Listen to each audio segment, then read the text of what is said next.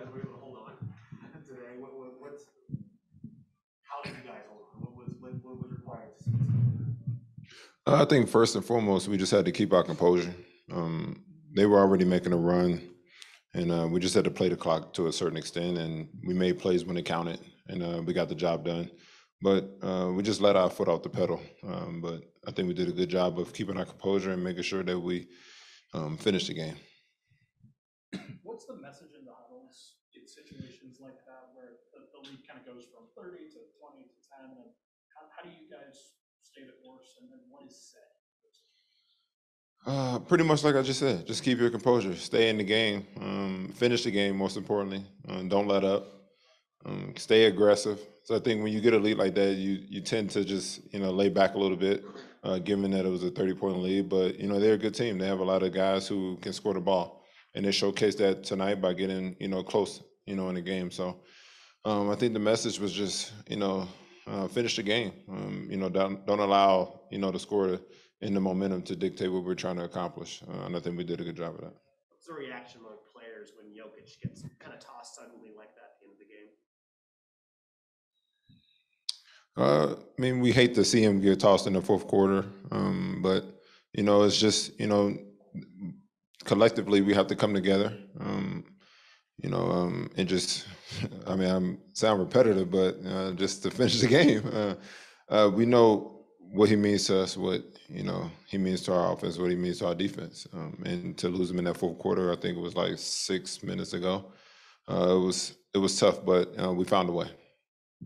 Jeff, what's it say about Aaron that he plays almost forty minutes and with a minute seventeen left, he's got enough in the tank to cross Gafford and finish with that two-handed dunk? Well, Aaron's only 26, so I, would, I, I will hope that he has enough in the tank to, you know, finish out the game. But Aaron, Aaron's been playing tremendous. Um, you know, what he's been giving us, you know, on both ends of the floor has been great. Uh, he's been playing playing well uh, in the post, uh, shooting the ball well, and you know, he showed his versatility today uh, by on the defensive end uh, all day guarding uh, Brad and doing a good job at it, and then finishing at the five. And uh, you know, that shows, you know, you know his limitless skill of what he can what he can do on the floor.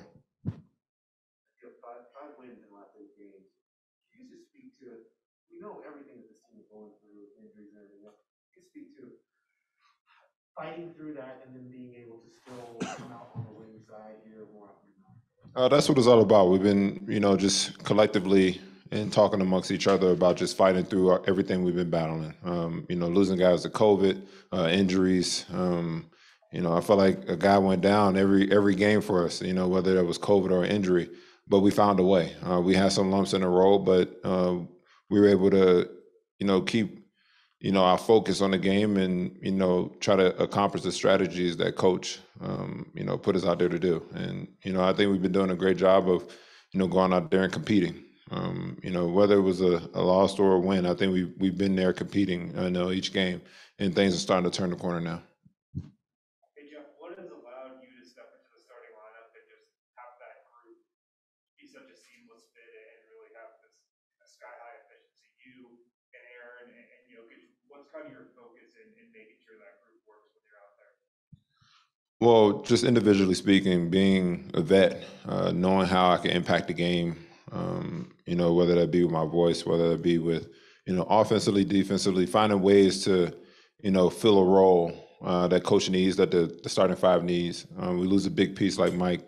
Um, you know, I, I just came in, I just wanted to, you know, do whatever they needed me to do. Um, you know, whether it be guard, uh, you know, playing a post, um, you know, you name it. I've done it. So uh, I just wanted to go out there and just, you know, play with energy, uh, support our guys, and you know, just be that that vet. And you know, I've, you know, think I've done a good job of that and trying to lead the guys and you know, be there for for my teammates. Um, and you know, we've had you know some lows in these last ten games, uh, but we've been playing well as, as of late.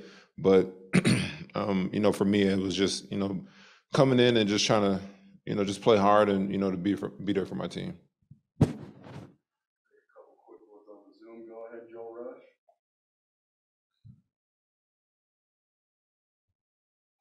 Are you sure?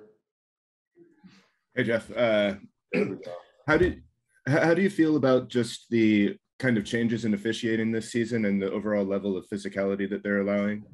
All right, don't, I'm not going to talk about officiating. They've been doing a tremendous job with their calls, and you know we've been, you know, adapting to what they're looking to. So um, you know the game has been called well. The game flow has been great. So um, that's it. Last one, Esteban Abad. Hi, Jeff. Congrats for the win from Cordoba, Argentina. How easy is it to play with a point guard like Facu, who always finds a way to pass the ball to an open teammate?